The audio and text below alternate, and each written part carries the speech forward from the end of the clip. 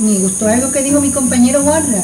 Nosotros también no solamente tenemos que meditar en, nuestro sí propio, sino también meditar en nuestra patria porque es parte y la fortaleza de lo que somos.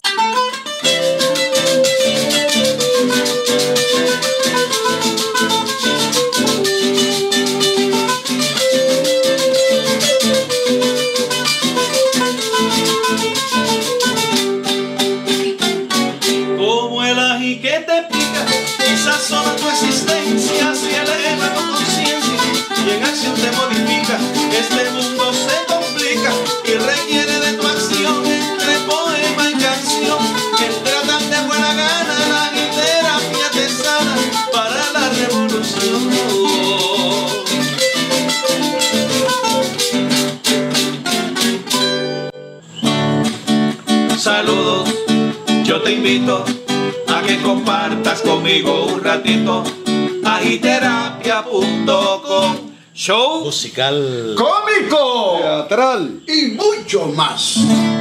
sobre la meditación y los distintos modos que hay de meditar. Cada uno de nosotros tiene su forma específica de lograr un estado de relajación, sentirse bien, despejarse un poco de las tensiones de la vida y dedicarnos un tiempito a nosotros mismos porque nos queremos mucho. Queremos que ustedes vayan cogiendo ideas de que se puede meditar, necesariamente no tiene que ponerse en posición de loto ni con los pies para arriba, ¿verdad? como hacen algunos yogis, ni, ni- ni irse al tope de una montaña.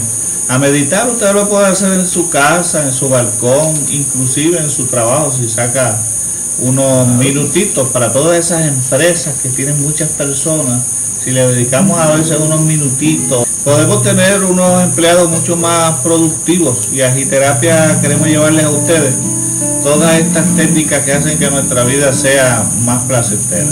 Pues yo todas las mañanas hago reflexiones. Una hora y media, dos horas. Todas las mañanas. Habría que empezar a ver cuál es el propósito de la meditación. O sea, muchas personas nunca piensan en nada ni meditan en nada porque están, tienen dinero, están felices, van y vienen, están ocupados, tienen un trabajo, un qué hacer todos los días. Y yo creo que nunca, nunca llegan al, al sí de ellos, sea, quién realmente son ellos hasta que se enfrentan a una situación difícil. Ahí viene el cambio, ya viene, entonces buscan cómo salir de ese problema, si bien serio, mejor todavía, porque más rápido lo lleva a ese punto. Ahora mismo, en la situación en que se encuentra nuestra nación, tenemos que meditar, tenemos que pensar claramente cuál es el futuro que nos espera, qué podemos hacer, qué podemos hacer para nosotros poder dar la mano y, seguir hacia adelante, porque la patria no se nos puede quedar atrás. Tenemos que sentarnos a meditar y a hacer un plan nuestras mentes de cómo poder aportar algo a, a la que- causa. que la meditación que nos referimos, pues mayormente es esa meditación ¿verdad? personal que Espiritual. tú haces para, para fortalecer, fortalecer tu, tu parte espiritual o fortalecer pues, tu parte emocional, esas emociones, ¿verdad? Que a veces tú tienes que meditar para a veces controlar ciertas emociones, ¿no? Y hay diferentes maneras de hacerlo. O sea, a mí me encanta la música, yo y pensando, ¿verdad? A veces pues pongo este, mi mente figuras, ¿verdad? Pienso a través de la historia, figuras religiosas. Mitológicas y No, de eso, eso no. Figuras No. religiosas y este, este, mayormente pues a veces pienso en algunos, conozco algunos personajes de la historia, algunos santos ¿no? de la historia. Hay personas que meditaban, había personas que meditaban de cierta manera que hasta se le, hasta levitaban, tenían su mente en blanco, de esta manera tal que Hay un movimiento hoy en día, ¿te acuerdas que siempre uno ve libros de ayuda personal, en inglés self-help? Hay un momento ahora donde están diciendo que en vez de tener una- un proceso de ayuda propia, es ayuda a otro. Cuando tú ayudas a otra persona, sabes que la dinámica es bien diferente. Cuando tú te ayudas, eh, tratas de tú superarte, es todo yo, todo yo, todo yo. Cuando te enfrentas a otra persona, ¿qué tú haces? Eh, Hay que cambiar ese concepto de ayudar a otra persona porque, ¿sabes? Se dice que cuando tú das es mucho mejor que recibir, ¿verdad? El mismo proceso, cuando tú ayudas a otra persona, es exactamente lo mismo. Lo que sucede es también que para tú poder dar, tú tienes que meditar en cuán ¿Cuánto es lo que necesitas para tú poder proveerle la paz a otro ser humano? Y, está claro, me gustó algo que dijo mi compañero Juanra. Nosotros también no solamente tenemos que meditar en, en nuestro sí propio, sino también meditar en nuestra patria porque es parte y la fortaleza de lo que somos. Para mí meditar es, ha sido siempre mi razón de ser y es lo que me ha mantenido fuerte ante muchas circunstancias y me, me se- me seguiré fuerte. Y cuando me siento débil, pues recurro a personas que me dan un poquito de support o me hacen sentir mejor.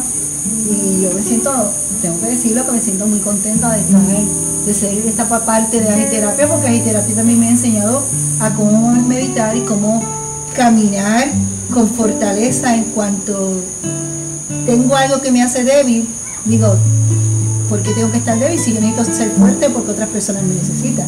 Entonces ahí sin darme cuenta estoy meditando en, en cómo voy a ayudar a los demás y ya tengo este medio. Pero cuando yo estoy sola en mi casa a las 6 de la mañana el canto de las aves es una forma tan natural de hacerme, de que yo me encuentre con mis situaciones, cómo voy a comenzar ese día y qué tengo que hacer para ser una mejor persona que me levanto con esa energía que, que solamente la naturaleza de Dios puede dar. Y, y lo mejor que un ser humano puede tener para, para tener una vida clara es no olvidarse que, que nosotros no nos guiamos, los hilos de la vida de nosotros no los movemos nosotros, somos movidos por un ser más grande, espiritual, como dijo Sastre, si yo no creo en Dios, porque estoy muriendo? Y si yo no creo en Dios, cómo camino, cómo respiro, cómo puedo pensar y ser lo que soy, pues yo me siento, me siento a meditar sobre mi vida espiritual, que es una vida, que es la vida que yo me podrán tirar o ofender o maltratar, pero mi vida espiritual nadie la toca porque nadie puede llegar a ella. Wow, me estaba, estaba el embado escuchando todas estas cosas. Hay técnicas de meditación como por ejemplo meditación trascendental, los chinos tienen sus estilos de, de meditación. Hay otra meditación que es un dejar de hacer, dejar de pensar y nos trae una visualización, por ejemplo, sentarte en un cine y mirar una pantalla en blanco y enfocar en que ahí no hay nada. Al principio se hace difícil, pero después tú te quedas como el televisor cuando se queda sin nada. Eh, eso es un tipo de meditación para tú darle espacio a tu área espiritual, psicológica y física y irte en blanco, estar unos minutitos a horas, las personas que pueden lograr mucho más tiempo en eso, para que tu cerebro, tu sistema nervioso se organice, darle un break, un. ¿verdad? Hay otras meditaciones que son por lo que se llaman mantras. Om, el amén de los cristianos, ¿verdad? Son palabras en las que tú te repites, te repites mentalmente y eso te va llevando a un estado de alejamiento de la realidad inmediata.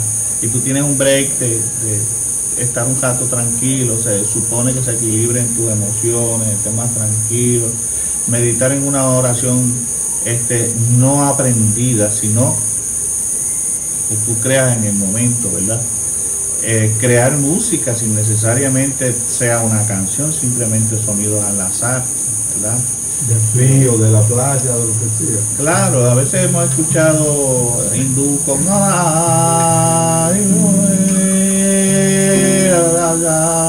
no trae ninguna canción, simplemente mira, me paran los pelos. Cuerpo, Uno cambia. eh, sí, sí, sí, cae como en una especie de trance, de relajación. Y eso no cuesta nada, es cuestión de explorar y aprender con estos programas. Como yo en mi casa, ¿verdad? Hoy en día, el pan nuestro son los medicamentos para tú calmar tu ansiedad. ¿Ok? Clonopin, Transen, Sana, que esos son, se dan como, como si fueran dulces. Hoy en día los médicos, estoy ansioso, bebé esto. ¿Ok? Qué fácil. Sin embargo, puedes tener unos ratos de meditación, buscar en internet, escuchar a agiterapia.com y ver todos estos temas. Eh, les aseguramos que se van a lograr un estado emocional tranquilo, Armonía. calmado, una mejor armonía.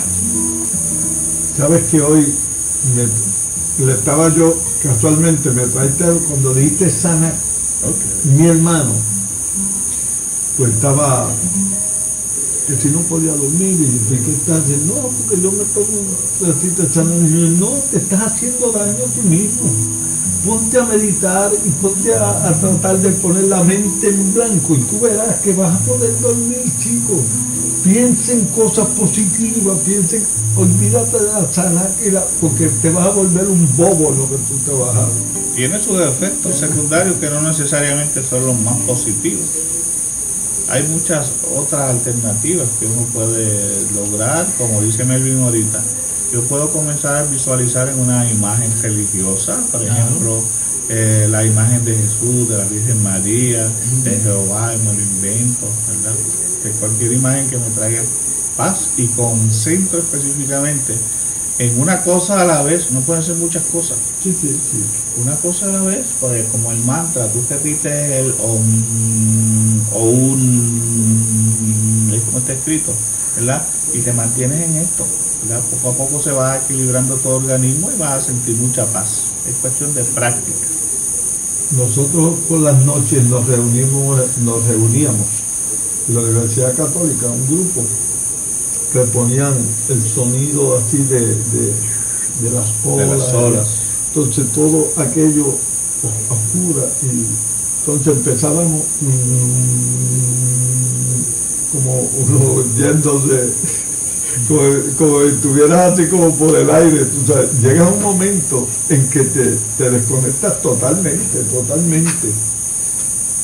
Estuvimos practicándolo por varios meses hasta que a mí me dio con abrir el ojo, decía que alguien te levantaba. fastidió la, la, la concentración. Sí, perdía la concentración. En muchos países eh, del Oriente, yo estuve por ejemplo en Irak, y ya es una rutina, un hábito. La misma melodía, igualita que él estaba diciendo ahí, es, era de Irak, y era todo el día de la mañana con un para adelante a todo un pueblo. A esa hora todo el mundo se levanta y se mira hacia el sol y hace su... Yo casi siempre cuando estoy atribulado, recurro siempre a la oración. Y me siento y oro, y oro, y oro, y le pido a Dios. Y eso es lo que, por lo general, yo eso es lo que uso para,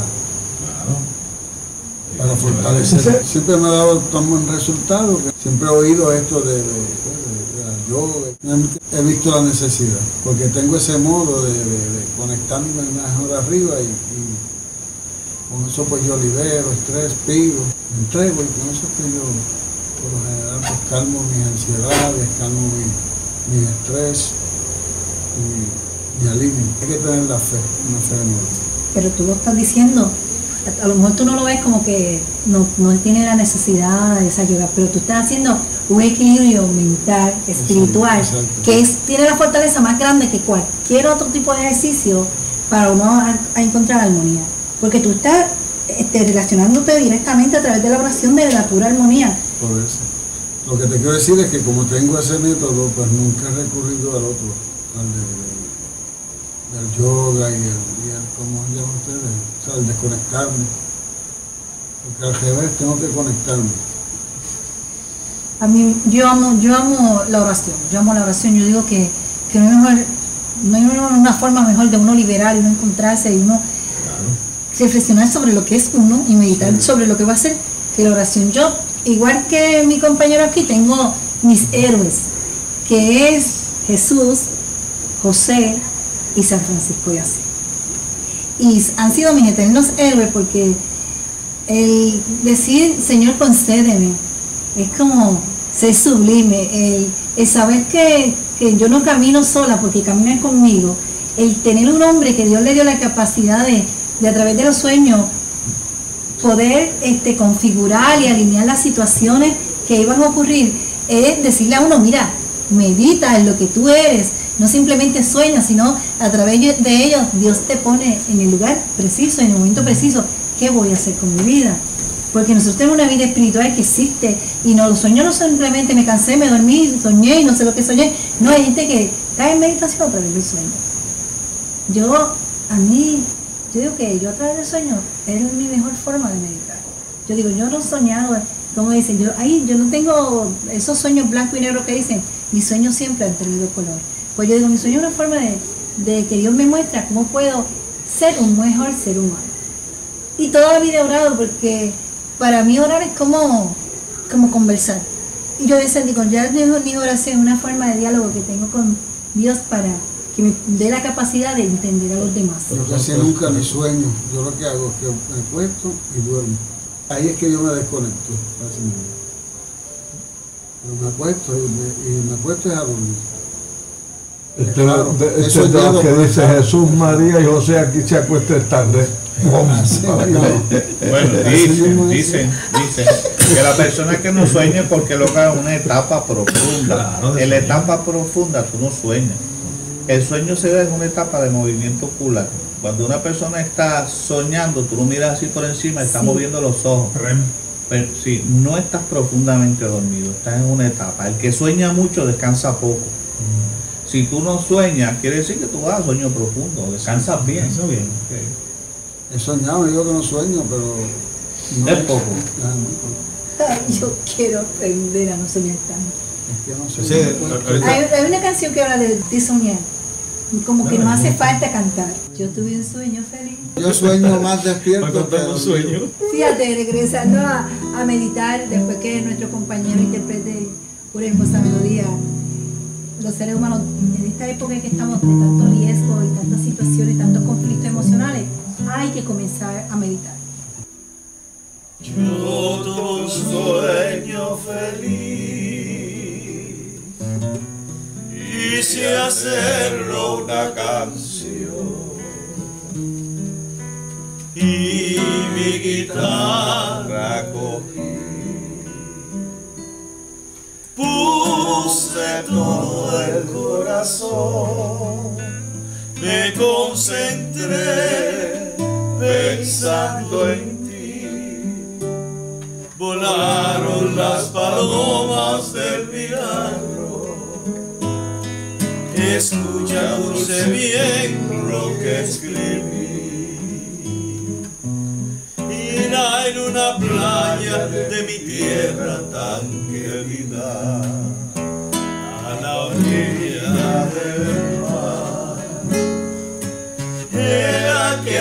estaba celebrando su gira debajo de un palmar.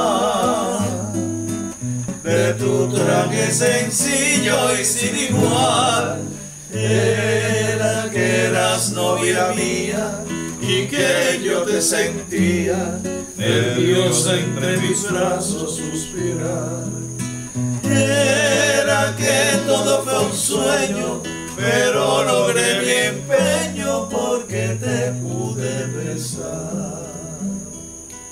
Sueño feliz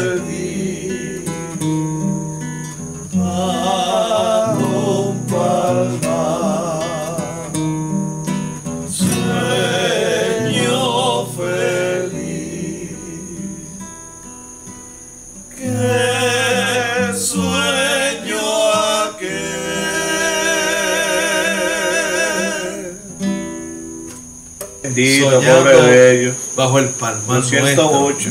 Ese palmar puertorriqueño. Que no te caiga un coco.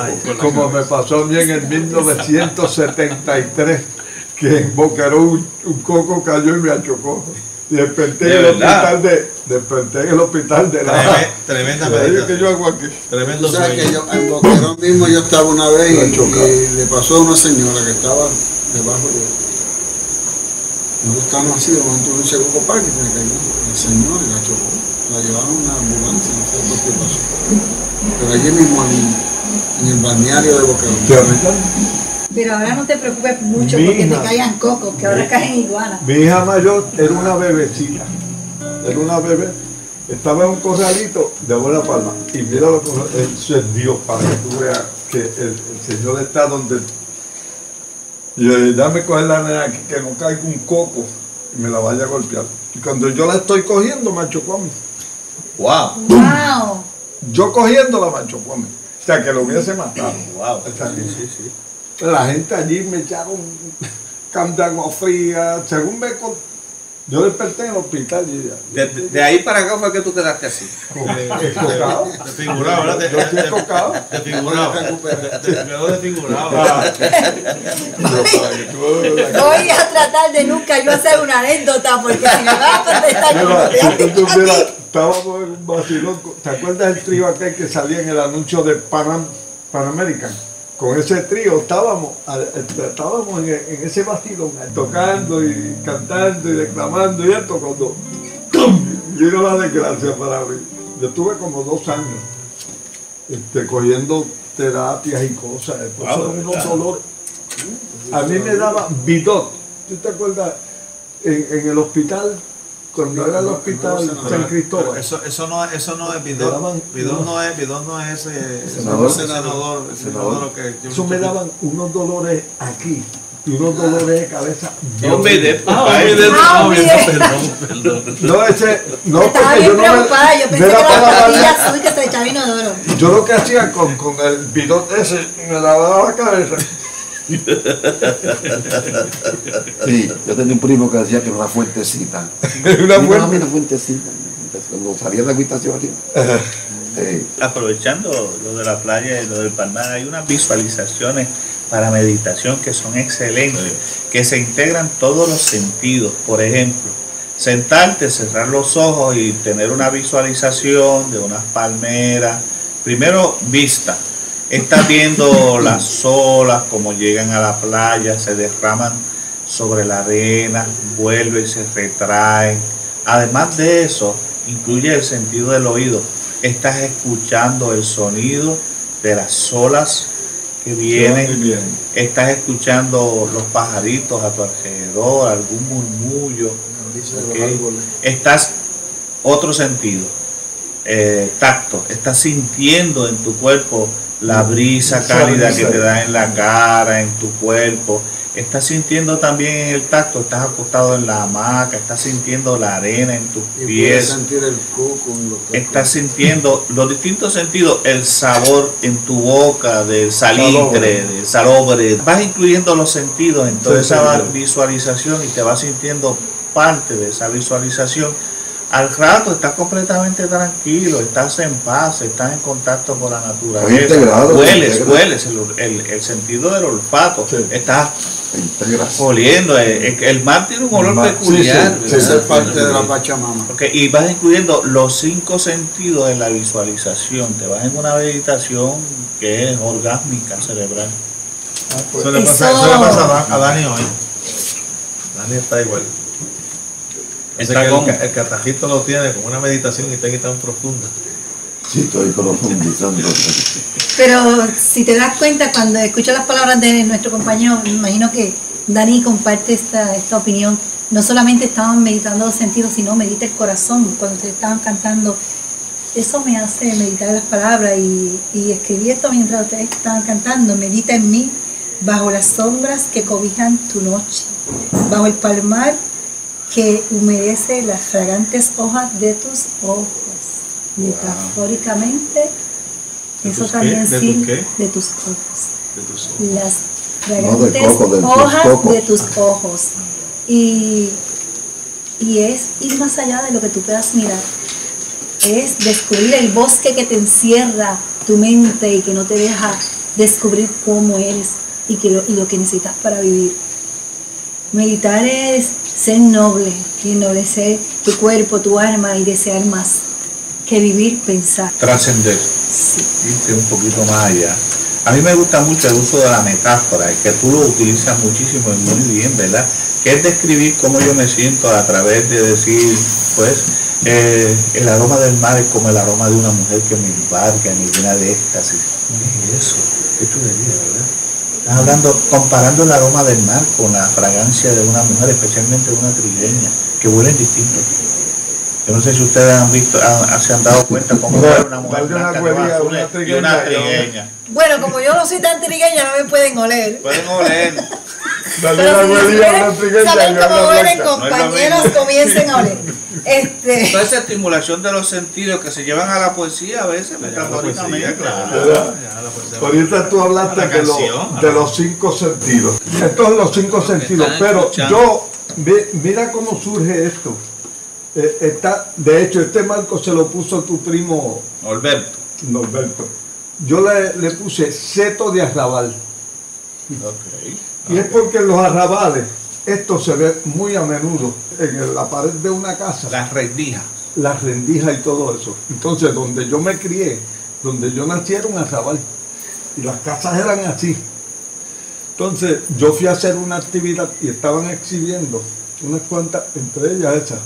Y yo dije, mira, este, me interesa. Dice, no, es que no se vende. Y yo, pero hagan una cosa, no me paguen la actividad y de verdad. O sea que esto para los efectos me costó 350 pesos. Pero el interés mayor mío era tenerlo. Pues para mí tenía significado. Mucho ¿eh? significado. Los chavos, si hubieran estado hace años, pues fue un homenaje que le dieron a Belardo Díaz Alfaro. Y ahí estaba yo declamando. Seto de arrabal. Describe lo que se está viendo ahí. Entre los cinco sentidos está el de, el de la vista. Hay unos ojos que se están asomando sea, a o sea, través de una rendija. Seguro, está ligando a ver qué pasa en el vecindario. Para nuestros amigos oyentes podemos ver un cuadro, ¿verdad? Donde es una pared de madera, ¿verdad? Con, su- con sus uniones y sus clavitos, ¿no? Como si tuviera sus clavos. Hay una, una Tabla. unas aberturas entre la madera, hay unas aberturas entre la madera donde hay, donde hay un rostro asomando sus dos ojos, ¿no? Donde hay uno que está de lado, eh, eh, enseñando su oreja y su nariz. Donde el El- otro, el otro está enseñando un dedo Donde este me y, vas a coger y- a y mí. por otro hueco de la pared está enseñando los dientes y la lengua. Está escuchando lo- el chisme de la vecina. Chisme. O sea que en los barrios, en los arrabales, del lengua y largo botado. Pero muy interesante el Interesante cuadro, la cuadro. pintura, muy interesante, muy interesante. ¿No sabes quién lo pintó? De verdad que no. ¿Y cómo se llama el cuadro? Yo le puse seto de arrabal por la figura que vi, tú sabes. Y así mismo estaba, con, con estas tablas así. Y observamos que la madera está deshecha, pero eh, es como a propósito, lo podemos Sí. observar así. es. Este cuadro, aunque vaya envejeciendo y vaya para a los años le vayan haciendo mella, como decía el Jíbaro, siempre va a tener el sentido. Sí, O sea, definitivo. siempre va a tener, la- va a llevar el mensaje. Y Por eso- no solamente en los arrabales se ve esto, porque el escuchar y observar por las rendijas de las maderas o de las puertas o donde sea, hasta del cartón, eso está en la actualidad. Esa es la cultura de la persiana. sí, Sí. eso no cambia. Así que no cambia. no señalemos porque averiguando, estar escuchando, lengüeteando, o sea que la madera estaba así cuando yo lo no, entonces yo no he querido barnizarlo ni nada, le deja tal y como estaba. Pues sí, este, ahorita cuando tú mencionaste y cuando Walter mencionó que estuvo en Irak, que tú sabes que estos pueblos, resulta que allí pues el, el fuerte es la, su religión, ¿no? La gente pues creen totalmente en su religión, que en su fe, está arraigada su fe en su cultura, en su, en su modo de vida diario, Sí. ¿verdad? Este, donde ellos pues hacen sus oraciones de cierta forma, a cierta hora, a cierta hora específica, ¿no? Si verdaderamente nosotros, ¿verdad? O la vida cristiana, o, pues, lleváramos nuestra, nuestra religión, nuestra cultura de esa manera, yo creo que seríamos un poco más felices. Yo manera- respeto cada cosa de esta, porque yo no sé si ellos son los que están correctos y uno es el que está equivocado. Nosotros, católicos, con por humildad- fe, Con, con humildad se trata esa. Pero es cuestión de devoción. seguro, pero a lo mejor los que están, por eso es que a mí no me gusta criticar ninguna reunión, pues yo digo, a lo mejor los que están bien son esos. Entonces, y el que estoy equivocado soy yo.